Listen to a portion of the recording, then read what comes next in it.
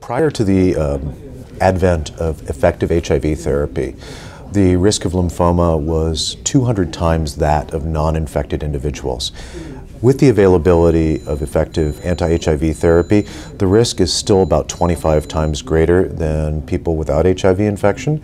So, of the 1.1 million people in the United States who are HIV infected, we expect up to 10% of them will be diagnosed with non Hodgkin lymphoma or Hodgkin lymphoma in their lifetimes. And what we looked at was could we take this idea of autologous stem cell transplantation, which is the standard of care for non HIV infected patients with relapsed non Hodgkin lymphoma and Hodgkin lymphoma that's still sensitive to chemotherapy. So the question was can we take those patients and offer them autologous transplant? Now, now other groups have looked at this issue of autologous transplant in people with HIV infection. The City of Hope has done this, groups in Europe have done this, and even the AIDS Malignancy Consortium has looked at this issue. But those clinical trials have been largely limited to places which specialized in the care of HIV patients.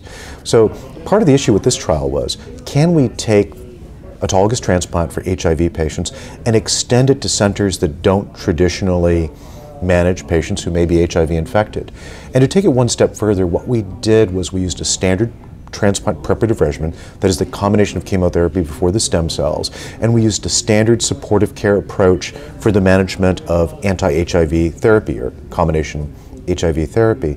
And what we found is that we could effectively treat this group of patients with quite excellent outcomes. The one year overall survival was 86.6% in our group of patients, and our one year mortality was 5% for this group of patients.